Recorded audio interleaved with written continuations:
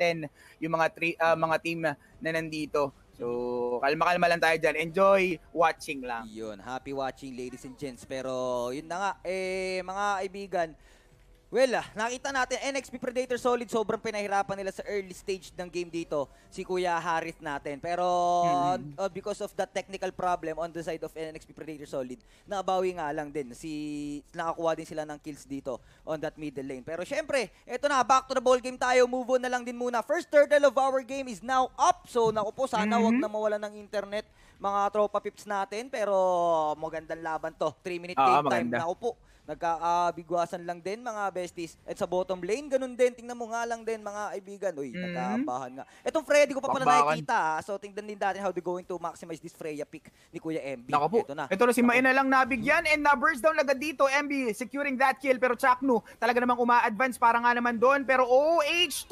mapapatay ni paring Hey Zaman Force na ibigay. Chronotas pa nga rin sa bandang gilid plus the way of the dragon. Binigay lahat ng skills na kayang ibigay. Chaknu kahit wala ng buhay ay eh, papalag pa rin naman bouncing ball para kay Yawe dito. Initsa pa yung aso. Naku po yung ano, yung tutang pikit talagang kumakagat ng kumakagat dito. Pero top lane may naglalaban din. Si and si Cho. Ito, so, halos na, lahat ng linya, bakbakan. Oo, tama ka dyan. And uh, punong-puno ng action, mga kaibigan. So, yun! Si Chester doon, napatay lang din, di natin napansin. But Garbia, no from kill. Another one, hinahabol si Yawi dito. Eto Max trying to escape, pero patay no. pa din. Eto naman si Haytan lalaban, pero no, no, no. There's a backup coming in from NXP Predator Solid. So disengage din muna si Kuya Hate natin. Sa bottom lane, sa Gitno, doing his own objective dito. Babasag ng tier 1 tower, level, uh, first tower din sa bottom lane. 5-6 ang ating score, 4 minute game time.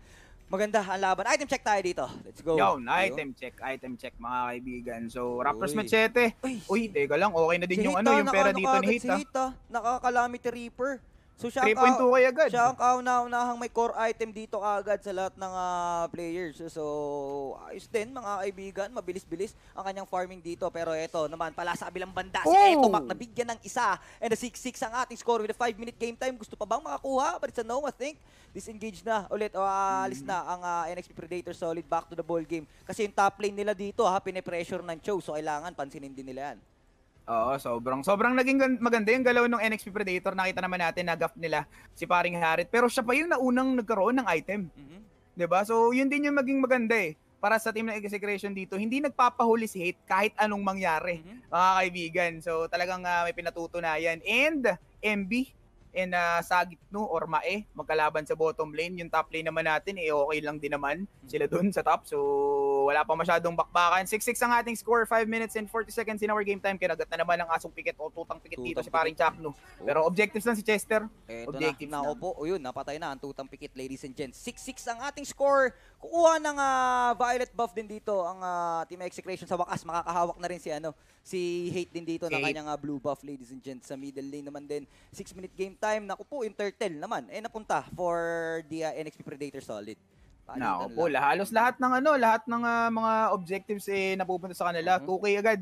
Ang oy 1K pala ang kalamangan dito ng NXP, NXP Predator Solid. Oh, so uh, tingnan natin plus the Turret hindi nakatira sa H2 natakpan.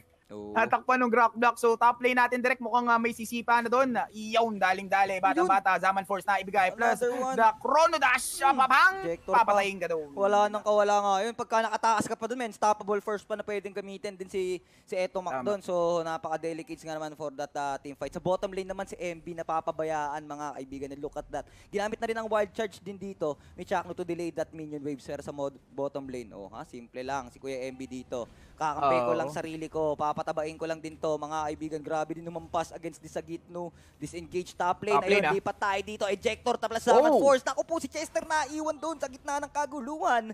Eh, mm-hmm. nabasagan na ng Tore napatay pa siya. And uh, Oo. for that, tumamang ang execution ng, sa engagement na yun. Na, oops. Pero yung pera, medyo pantay na rin dito. Benny Cutie nakapag-out uh, pa nga ba, pero oops, si Eto Makmali ang nait siya. So Chaknu plus eto ma oh. connection pa nga rin dito sa middle lane. Samahan pa ni MB tatlo laban sa dalawa pero papunta rin si paring hate natin dito. Zaman Force ilalapag nga ba? Yun ang katanungan. Pero eto na yung katanungan. Gusto nang patunayan dito. Napapatayin nila pero nasalya ni Yawi dito ang isa. Double kill para kay hate. Make it 3. Tignan natin sa magkakataong ito. Bababang! Tinamaan. Pero sa gitno ang nakapatay dun sa clash na yun. Exactly, ladies and gents. 6-11 ang ating score na dito. Huy, uminvade din ng blue ng ah, orange buff Red din si. Kuya 8. Naku po, mukhang ah, bumabawi, tikman ang ganti ng walang buff kumbaga. And ah, for these mga besties, nakikita naman natin lumalamang naman ngayon ang execration for the 7-minute game time. Kung kanina early stage, hirap na hirap din ang ah, alamin lamang na lamang ang NXP. This time bumabaliktad naman, make things around. Pero oops, naku po, pwede din sa top ah? lane pero disengage na. Sumablay, sumablay kasi yung ano, yung itcha. Yung, ah, Kung hindi sumablay yun, ano eh, pwedeng uh, i-burst down yung uh, Joehead and the Joe, ah, ng Cho yun kasi meron naman silang ano eh,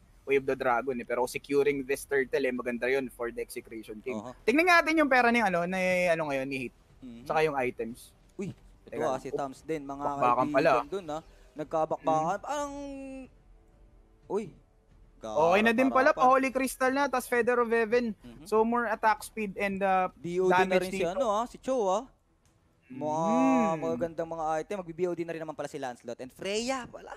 Magbi-BOD din. So for this Freya, eh, damage dealer Freya ang kanyang ipapakita. Though medyo Holy- mahirap nga lang, 1-3 ang standing din ni, uy, yun na, Holy Crystal na para kay. Ang taba nga masakit niya na. sir. Medyo masakit Ooh. talaga yung damage niyan, mga kaibigan. So, tignan natin dito Mm. kung uh, tatapusin na nga ba ng execration or kukuha na sila. Possible makuha to. Tignan mo naman yung damage, napakalaki ng damage sa turret. And uh, yun na nga, inhibitor turret, eh, napatay na. Uy, tignan mo yung damage sa kay Tams. Oh, Dalawang tira lang yun, sir.